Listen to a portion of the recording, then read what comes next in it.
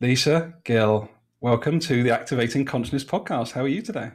I'm well, thank you. Thank you so much for inviting me. I'm really looking forward to it. No, pleasure is literally all mine. And I'm going to give a quick shout out to Barry O'Kane, who was sort of a catalyst, I think, in some way for this discussion, because you and I and he at Meaning a few years ago just went down this incredible rabbit hole for an hour. And I'm not sure I've come back up again yet, Lisa.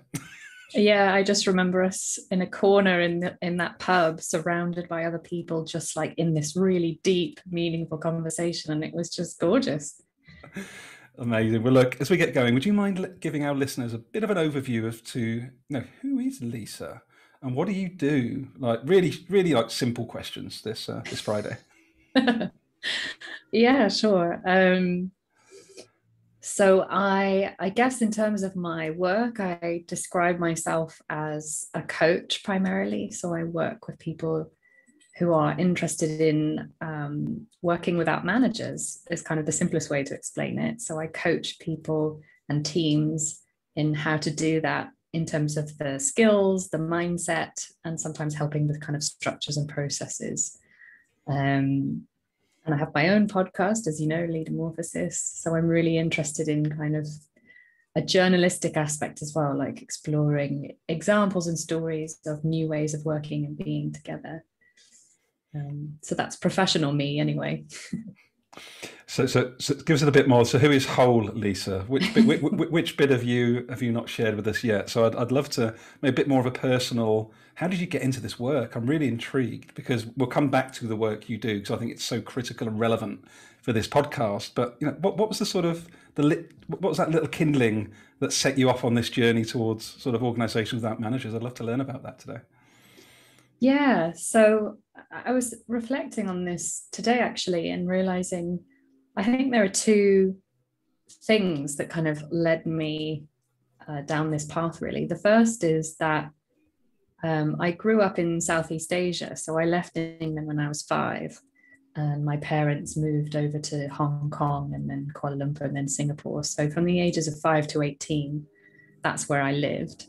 So I think what that shaped was kind of my identity as a cultural outsider in a way and I became an observer. And from quite a young age, I was like a bit of a geeky journalist and writer. Like I was writing little reports on things like the Hong Kong handover and stuff, not as homework assignments or anything, but just for fun. Like, so I think I've always been interested in, yeah, kind of observing from the edges and so I think that shaped me a lot. And the second thing I think the catalyst was being a frustrated employee. So I I originally studied drama at university, and for a while I thought I wanted to be an actress or at least work in the arts. And that didn't really work out because I found it quite challenging to really kind of get into that industry in a meaningful way and found like the creative industry surprisingly uncreative if you're at the bottom of the food chain um, and then worked in a whole bunch of different jobs trying to find my thing and my purpose. And was always wanting to get involved in things i'm quite creative and found it really frustrating that because i wasn't a manager i wasn't allowed to get involved in certain things that affected me. And that really irritated me. So i became a bit of a rebel i think. And i left quite a few companies and i tried to shake up a few and in the end decided to to leave and set up my own company and and was inspired by books like Reinventing Organizations by Frederic Laloux um, and people like Perry Timms, who you know, who were kind of part of this movement of people who are like, hey, let's reinvent work, let's make it more human, let's make it more collaborative. And I thought, yeah, that seems interesting to me, and started kind of reading a lot of books and going to events and talking to people and exploring how could we do that and so kind of extension of that then became stories and examples of organizations that were really doing radical things and working without managers um, and realizing that that actually wasn't that new of an idea but had somehow been forgotten or something you know? I thought that was interesting so cool. Little shout out to Perry. Uh, again, Perry the super connector. Like, how did I find out about you? Because of Perry Tim. So thank you, Perry. Um, I'm really, I love that sort of that interplay between that outside of you, yeah, growing up in Hong Kong, and this sort of almost disruptive energy that you that emerged through you. And I just wonder if there was maybe not a causation, but some correlation between that. And I'm just making something up at the in this moment, but I'm just wondering how they may have informed each other somehow. Yeah, yeah, that's interesting. I guess I guess like when I was an employee, when I started my career, I was always, I, I, suppose I was always looking for ways to belong. And I was trying to do that by creating value. And the way that I seemed to be able to do that was by drawing patterns like and conclusions, seeing what was going on in the culture and the relationships and things like that, and kind of feeding that back to managers. So I became this kind of um, voice of the people in a way, for good and for bad. Um, and I remember thinking about 10 years ago or so, like, uh, I was doing all of this stuff on the side of my actual day job because I was a project manager at the time. But I was thinking, I was kind of being uh, recognized and appreciated for doing all of this kind of internal cultural stuff. And I remember thinking, like, why can't that just be my job? Because I like that and I'm good at that. Like wouldn't it be fun if i could just make that my job? And at the time it seemed like well no that's ridiculous. How could that ever be a job? And now it's basically what i do.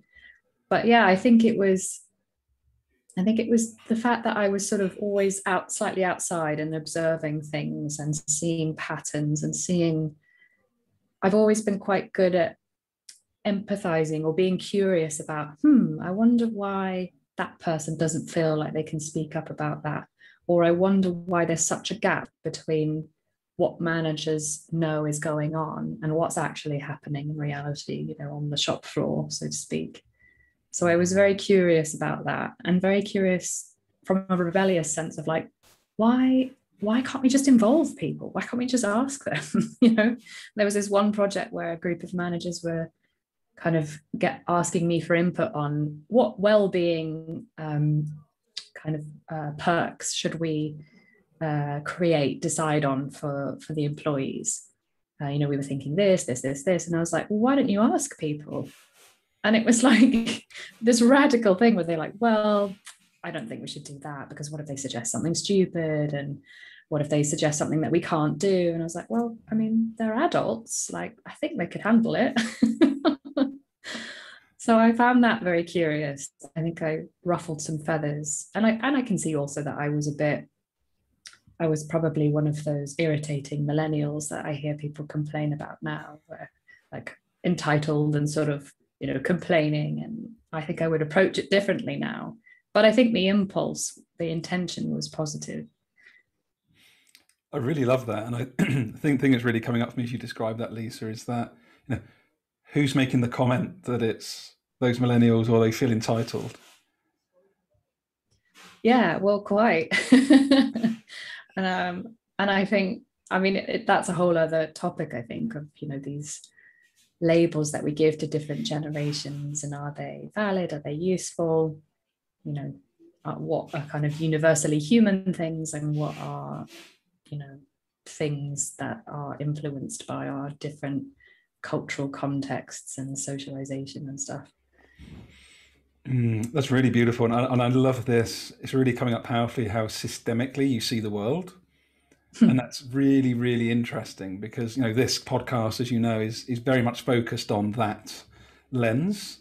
And I find it curious. I, I love you. You've used the word curious so many times, and I get excited by human mm-hmm. beings that do that because it's something that I'm finding myself again in the last five years because we sort of very innocently, haven't we, particularly in the West, sort of given that curiosity away almost from birth, very mm-hmm. innocently through you know home life, education, world of work. By the time you hit work, it's like, oh, oh, where's it all gone? I used to be curious once, and it seems like the world's really waking up to like actually that's the very skill human behavior we need to navigate change as business as usual and i'm just wondering if you'd confirm or deny that or how does that show up in your work around around that sort of what I feel is a very real shift towards curiosity being critical and not just a nice to have now.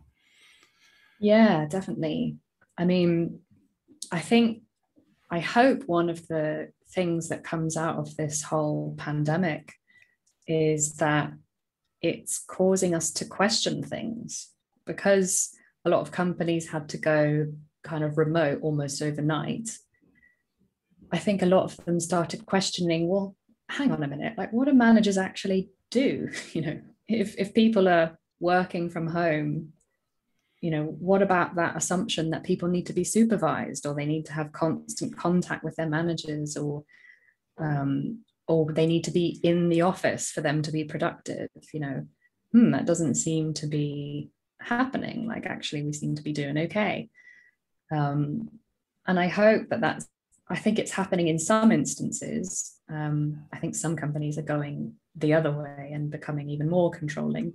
But i think at least some companies are saying well hang on like let's not go back to normal when we when this is all over let's actually use this as an opportunity to say, like, what are the things that have never really been working or have, been, have for a long time been pretty dysfunctional or unnecessary, needlessly bureaucratic, and let's like reinvent those. Let's not just go back to the default just because that's what we were before.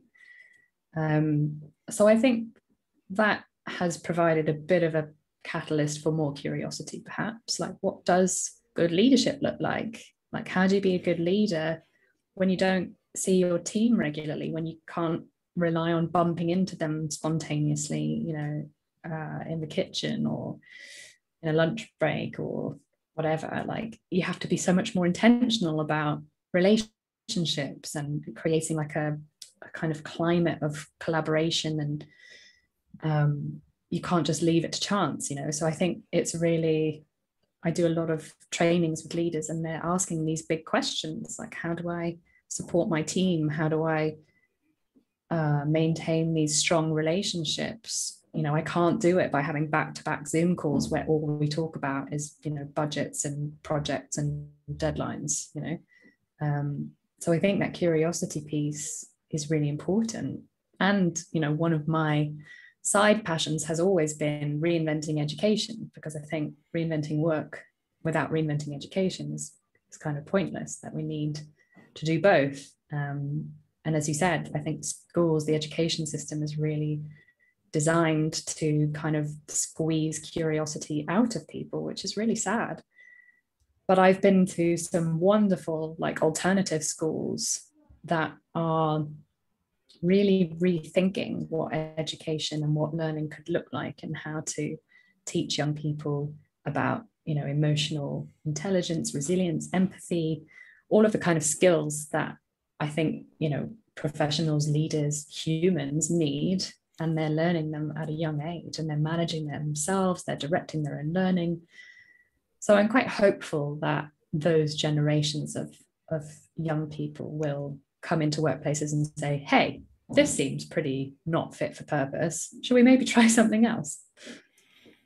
It's really lovely. What I'm feeling as you speak, I love the. Are you going to be writing a book with Frederic Laloux on reinventing education? This might be an exclusive we're getting.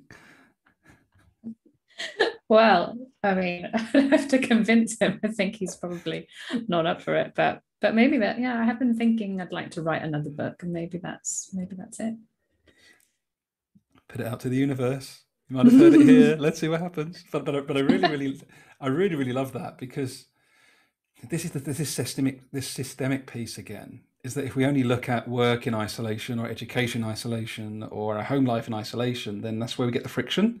And so that's been my journey, as you may know, over the five, as I've sort of, like, I've recently added that I'm a reforming human being to my LinkedIn profile because I found it's the best way of describing who I am. Mm. Like, because so much of what you describe for me around curiosity, you know, learning, self directed learning, that feels a very innate thing. Like we've already all got it. And it's actually more a case of how do we stay in that curious, innate state more often in a way, you know, leveraging each other's gifts, wisdom, ideas, challenge, debate, etc.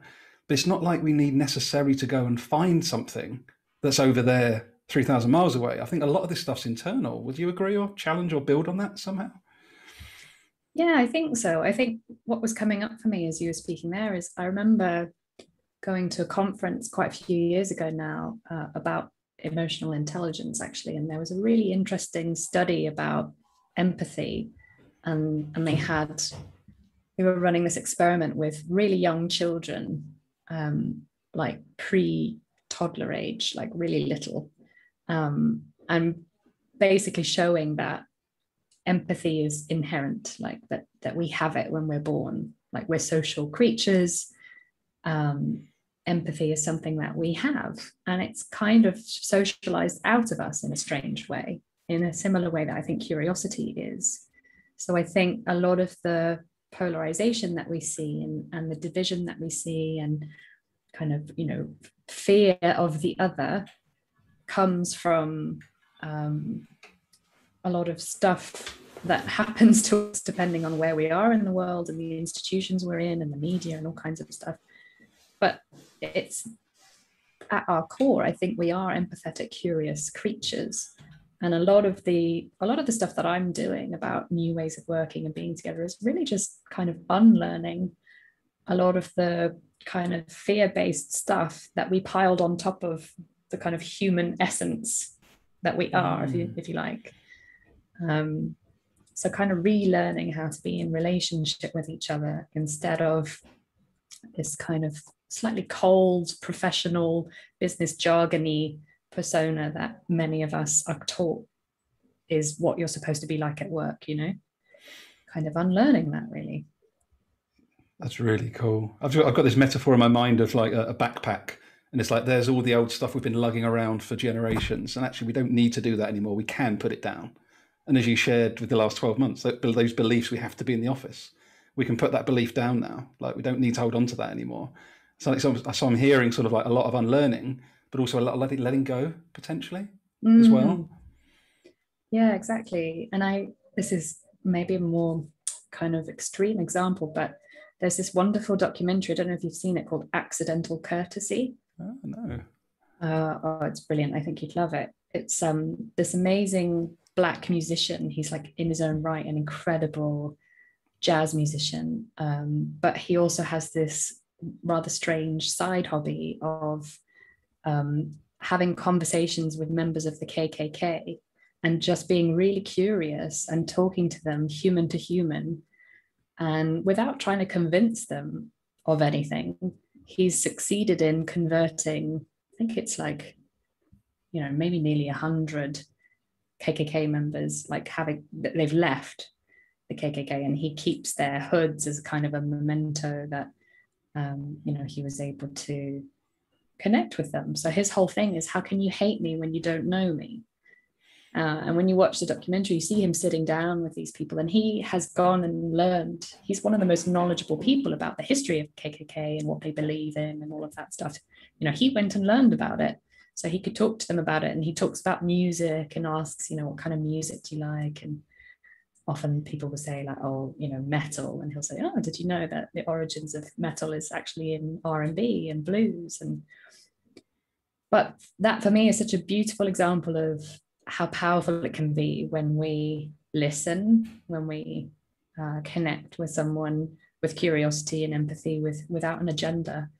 That that actually can be really a powerful way of shifting people's kind of fears or biases or assumptions about each other. So that's kind of you know taking it to an extreme almost that, that it is possible to do that if you kind of strip away all of the stuff and you just talk human to human. I've literally got a whole like upper body like oh my god that's like I want to see that. I'm going to be yeah. listening back and going to watch that because it's I love that last part you shared that last statement connection without you know ulterior motive basically my words for, for what you just described you know just connecting for connection's sake. I want to see you Liz sorry, Lisa, Liz, I want to see you, Lisa, as the whole human that you are and understand you mm. beneath the labels, you know, whether you're, you know, non-binary, black, you know, mm. disabled, you know, whatever your intersectionality is, I want to see you, Lisa. Mm. Like, who are you? Like, and that's, you can't do that without being curious, without an ulterior motive. I just don't believe that you can. So mm. that really come up powerfully for me as you were describing that. So I want to thank you for that. That was Mm.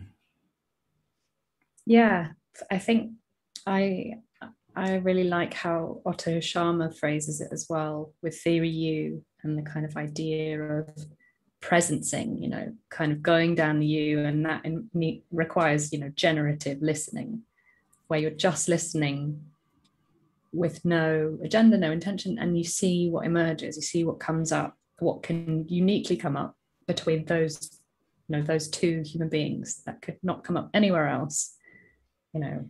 And we're so like humans are so interesting. Like a, a book that really inspired me years ago was this book social why why our brains are wired to connect by matthew lieberman. And he did a lot of like neuroscience research or pulled it together that shows that our brains don't know the difference between social pain and actual pain.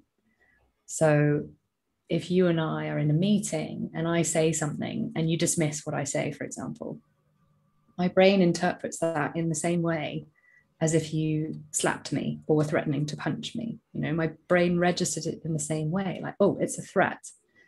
And that mm-hmm. means my brain kind of shuts down and I go into my kind of reptilian fight, flight, freeze mode. So I can't think anymore. My prefrontal cortex isn't working I can't be creative, I can't think rationally. And I think so often that's what we're doing to each other in, in workplaces or in, you know, in any kind of conversations in life where, where we're talking about something where people have different opinions, perhaps, or don't feel fully safe, or um, yeah, when it's a tricky subject, we're kind of talking in a way that everyone's brains are shutting down. And then we're trying you know surprised when we can't get to any kind of agreement or when we can't move forward in any meaningful way. But that's why because we're not you know to get out of that to kind of bring that part of the brain back online requires listening requires you know people feeling seen and heard and taken seriously.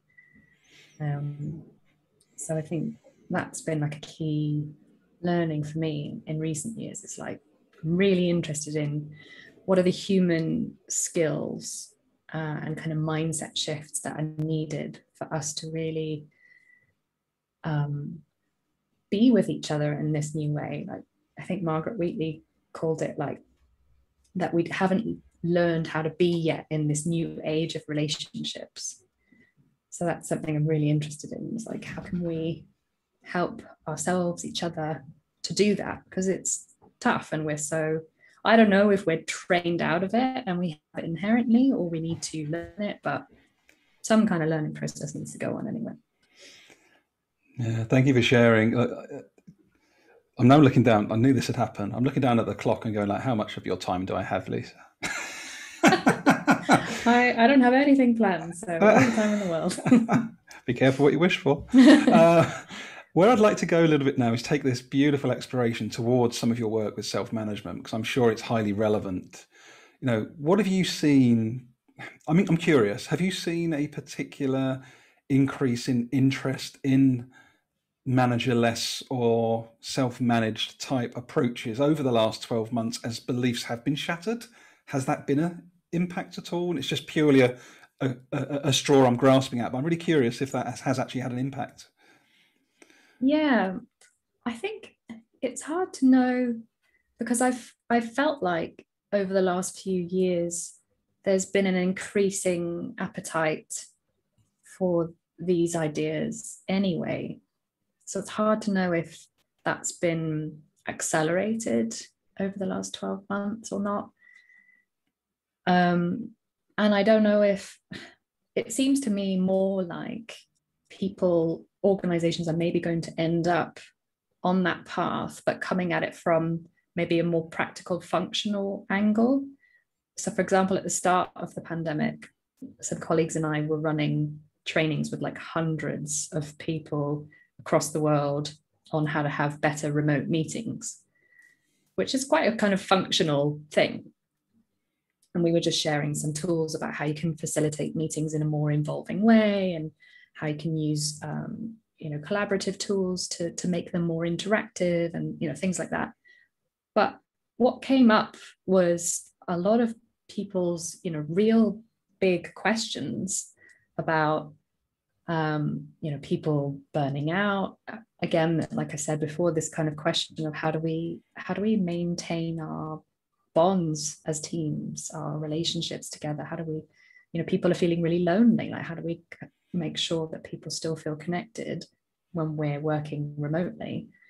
Um, and a lot of HR professionals were sharing, like, I feel at a loss because you know we we were organizing lots of social events like come and join the virtual pub quiz or you know this coffee thing or whatever. Um, but engagement and and people turning up was kind of going down and down and down and they were really uh, worried like what do we do? What do people need? And so i think um, just the nature of meetings for example like how how we have i think many of us now are pretty well versed with tools like zoom um, compared to before. Um, i mean i've been working on remote teams for the last few years but i know a lot of people have had to learn very quickly how to use tools like that. Um, and and using that also as like a bit of a trojan mouse into more decentralized more collaborative ways of working in the sense of like you know when we have a meeting it doesn't have to be the manager that drives the meeting it doesn't have to be the manager that um, is responsible for the agenda so there are like very simple little tools you can use to get people to co-create the agenda or to have a rotating facilitator role. And all of these things seem kind of like, you know, pretty unsexy and uninteresting, but they're little subtle nudges towards, you know, like on one end of the spectrum, there's sort of that all the way up to like self-managing organizations, which is what I'm interested in. But i'm also interested in like everything in between and in general like just how can people be more involved and be more human? So i don't really have a judgment anymore of like self-management is the way to go. And if if you're anything less than that then you're just old-fashioned or whatever you know that's not my belief anymore. I think it was like you know going back to maybe 2015 or something. But now i realize that every organization is different and people are on different trajectories and people you know develop and evolve at different paces and it will depend what your context and purpose is. But i think if all of us can become more conscious as individuals and as teams and as organizations then however we're structured or organized doesn't matter so much to me compared to whether or not it's conscious if you know what i mean. That's such an interesting point. You've got me pondering now because I, have had my moments definitely in the last couple of years where I've been accidentally judgy. It's like it, why it polarized in my own way. It's like why aren't we doing like as you know I still work in a big corporate. A lot of people forget about this. I still work in hairy three and a half billion turnover corporate, and we've done our own little version of a self exactly as you're describing. You know, over three years, you know, we just changed like we co-created the values we mm. changed how we did meetings we made yeah. sure that we considered that we had european colleagues and that maybe english isn't their first language so we changed the pace of delivery like some really simple little nuances but we added six million in sales and a million and a half in margin over three years and we can track that because we're a mm. sales team but nothing else changed lisa apart from literally intentionally getting rid of the power from one person and actually having other people co-create it so i just wanted to bring that for the listener as a really real life simple anecdote that we are far from a self-managed company, but we've got very real, tangible results of our little baby steps towards relinquishing power. I guess is probably the simplest way of putting it. Yeah, yeah, definitely. Or I think sharing power. I think, mm. and hmm. um, I'm very inspired by Helen Sanderson. I don't know if you know her or you know her work. She's yes. the founder of Wellbeing Teams. Yes, sorry, absolutely. Yes, yes, mm. yes, yes. Yeah, and she she and I did a, a talk for leaders of cancer organizations last year, I think, and um, we were really trying to think about like how can what sort of relevant and accessible to that audience because many of them are in quite traditional organizations small and large and you know with minimal resources often uh, so kind of whole hog self-managed organization is maybe a big stretch right now. But what are the pieces that could be meaningful for them? And Helen really helped me articulate like a couple of really simple kind of practical things. And one of them is just starting with, um, you know, working with your team on what gets in the way of the team doing their best work. Um, and that kind of, to me, sounds like a little bit where the inspiration in in your organization came from like just kind of nudging a couple of things and seeing like you know what are some things we can try and that comes from Aaron Dignan and the Ready and their um, tension and practice cards and the OS canvas. And I really like that, just taking taking something, you know, like eating the elephant one bite at a time, saying like, what's one thing that really stops us from doing our best work? I don't know, having inefficient meetings or uh, not being clear how decisions are made. You know, like one of those things, take one of them and then explore, all right, what could that look like if we designed it to to help us you know do our best work what could we try what could we experiment with um, and i think that's a really nice way into uh, you know and it, you may not end up being self-managed but like you said you'll end up with some meaningful difference. Or worst case scenario you'll learn something. It'll fail and you'll learn you know you'll have a learning moment. So I like that idea of of just starting with like what gets in the way of you doing your best work. It's, it's really interesting actually. So again, back to our mutual friend Perry Timms, one of the things that I adopted after seeing his hackathon approach, which of course comes from agile agile working. So I'm far from like I I, I read enough and then go and experiment. That's just the way I am. That's my curiosity. Like I don't go too deep. I just take enough and go and go down rabbit holes. Lisa, um, but I've used that hackathon approach exactly like really, really simply in my organization. So what's working well? What isn't working well? What are your suggestions to improve? As a grounding for running most of the meetings that we now have. And it's completely transformed the level of engagement and the energy that's in the room because it's totally become a co-creative process. And it's just literally as simple as that. And I, have told Perry many times about that, that had I not have learned about a hackathon, I wouldn't have realized, oh, I can adapt that to my context. And mm. that's how we now run meetings most of the time. Yeah yeah that's awesome that's that's why i like liberating structures so much as well because when i came across them i i really liked that idea of coming at kind of culture change from habits you know the things that we do every day how we have discussions how we brainstorm how we get to a decision that you can have this you know suite of 33 different little microstructures you can have in your phone because i've got the app the free app on my phone. So if i'm like right we need to like tackle this kind of tricky issue with this group or we need to review what's happened in the last six months. And i type into my little app like right we've got like 45 minutes or i'll sort by the purpose is this or and then boom i've got a little step-by-step guide of how i can facilitate a conversation in a way that's really collaborative where everyone shapes the outcome of that discussion where participation is really distributed. So that for me was like a real turning point of like oh wow i can just build little strings of liberating structures and completely transform the way that i interact and have meetings and discussions with people and it, i don't have to do a facilitation training course or anything to do it i can just follow these little steps and try them out that's so cool so cool, right? We're gonna. I'm gonna have to take you to wrapping up because otherwise it's nearly the weekend, and I would feel guilty to have you for another hour, as easy as that would be. So, I've got a little question, if I may, random question. Yeah. Sorry, jumping over the plate. I'm really intrigued in this moment, Lisa. What was the shift for you? So I'm jumping back a little bit. You said there was. You used to have that belief that self-managed was like the way to go. If you're not doing self-managed, then maybe it's suboptimal. My words, not yours. What shifted for you? what was going on? What what happened with you over the last few years, or has something? Is it experiential? Is it different experiences, different companies you've met? I'm just wondering what the shift was for you that you're take that you've got this different sensing around self management, mm. maybe than you had sort of five six years ago. Yeah, I think I think many of the shifts in my thinking have come from conversations and people um, and so I, I can share two examples. One, one person who's challenged me a lot over the last few years is um, Tom Nixon and his uh, work with Source. Um, and so when he and I first talk, started talking, I'd just read Reinventing Organizations, and I was like on this, you know, high of like teal organizations. That's the way we've got to do that.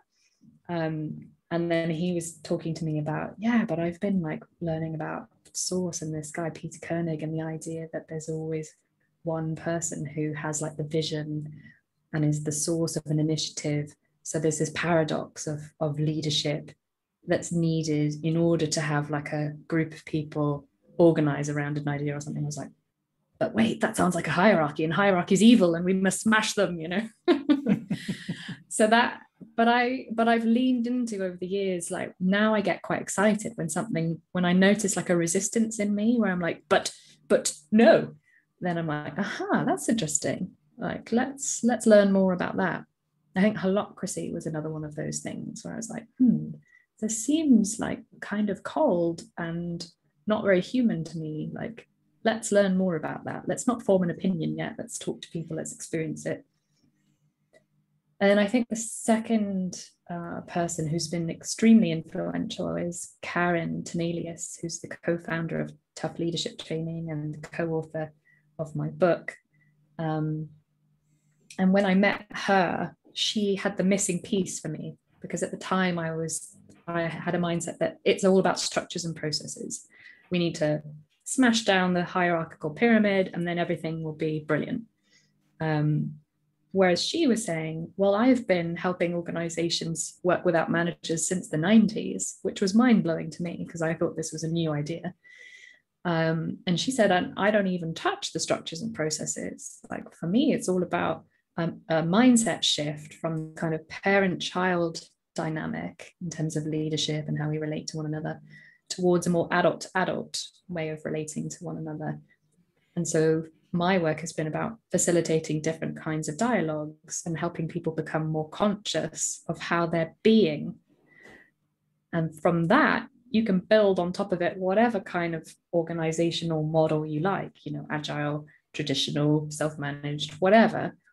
But you're starting with a kind of base level of awareness, consciousness, intention, so that really shifted a lot for me, I think. Like, okay, it's about more than structures and processes, actually.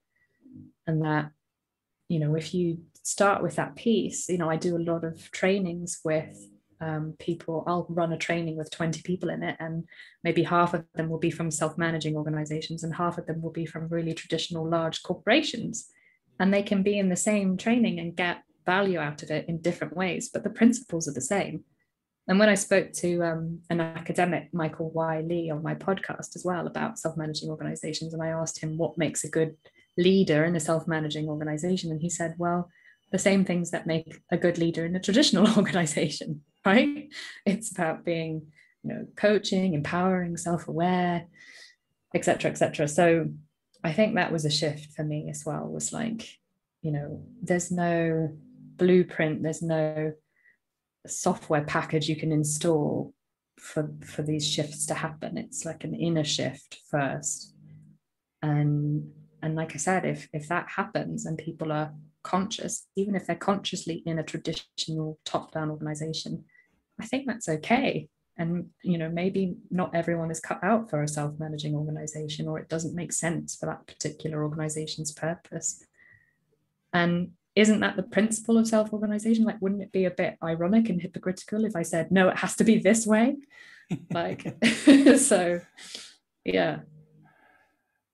Brilliant. That's so amazing i've got so many other questions but i'm not going to like I i'm not going to hold you hostage honestly it's just absolutely brilliant and just so many amazing humans invitations to not only connect and follow with lisa but all of these people that she's mentioned you've been so generous with not only resources today but actually some really actionable practices that people can take away. You know, they can go and practice running their meeting different or asking for help without worrying about having all the answers. You know, you've just yeah. really offered so much actionable insight today. So I really appreciate that, Lisa. How can people find you? What's the best channels through which to, to make contact should they want to follow up with you?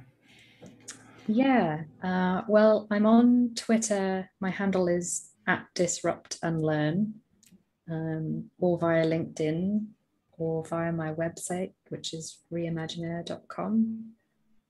Yeah, those are probably the three easiest places to find me. Amazing. Well, I will make sure they're all in the show notes as well. And I did not pay you to use the word consciousness, and it came up a fair few times. So I'm really pleased that there was some sort of link today. Um, no, I, I, just think for me, what was really fascinating was my final, like one of the things I took away really powerfully was that again that like I say, the structures, the processes, they are helpful for humans to deliver an outcome. They are not the thing in and of themselves. And I think even I can get wrapped up sometimes in the structure or the idea of creating something without forgetting why we're creating the something. If that mm. makes sense. yeah, definitely. Yeah, I think for me it's like a both and thing, you know. Like they're definitely important, but they're not the cure all. What a way to finish. Lisa, thank you for your time today. Thank you. I really enjoyed it. Take care.